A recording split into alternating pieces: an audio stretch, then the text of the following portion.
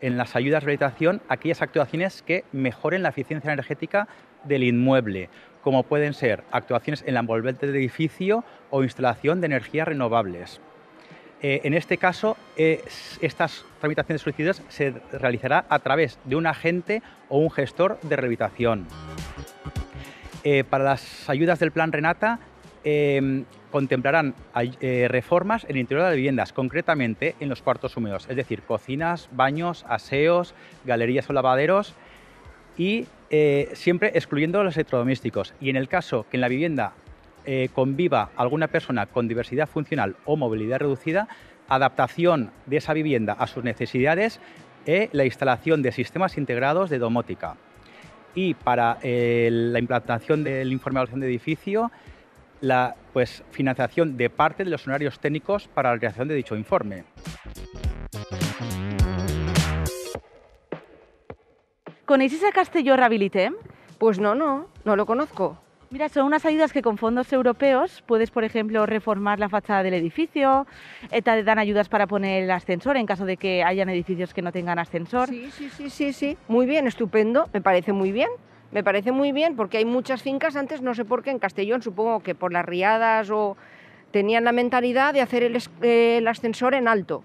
Entonces tú entrabas en el portal, había a lo mejor siete o ocho escalones y claro, la gente mayor, la, gente se va haciendo mayor, claro. Y entonces primero estaban muy ligeros, podían subir, pero ahora es más complicado. Entonces me parece estupendo que, que den unas ayudas. Pues mira, te voy a comentar, están aquí en Rehabilita Castelló Puntes.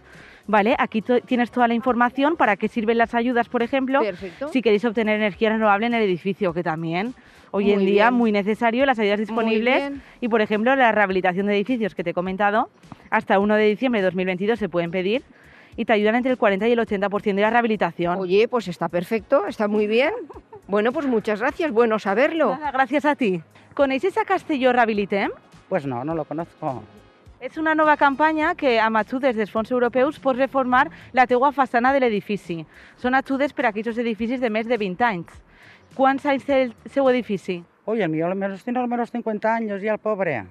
Pues si tiene por lo menos 50 tendrá que pasar la ITV de edificios. ¿Usted la conoce? Bueno, no la conozco, pero sí me lo han comentado. Sí, sí. ¿Y la ha pasado de momento? Pues no.